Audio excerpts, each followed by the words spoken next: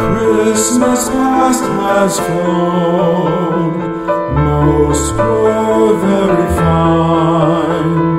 Christmas of today seems to agree, but everything must change and we must own. as songs in this